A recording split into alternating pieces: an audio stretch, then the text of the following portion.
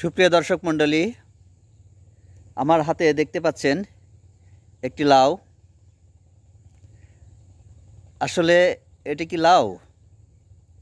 না, এটি লাউ না, এটি লাউ সাইজ একটি বেগুন।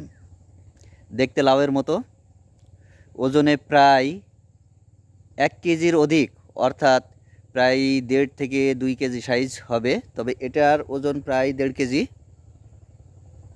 তো এই বেগুনটির বিশেষত্ব হলো যে, এই বেগুনটি খুবই নরম সফট খেতে খুবই ভালো, তরকারি এবং ভাজিতে খুবই ভালো লাগে।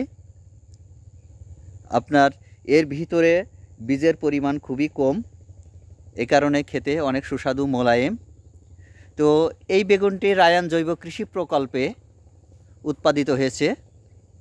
যারা এই বেগুনের বীজ অথবা চারা সংগ্রহ করতে চান, তারা রায়ান জৈব কৃষি প্রকল্প, কোটচাঁদপুর, ঝিনাইদহে যোগাযোগ করতে পারেন। ধন্যবাদ।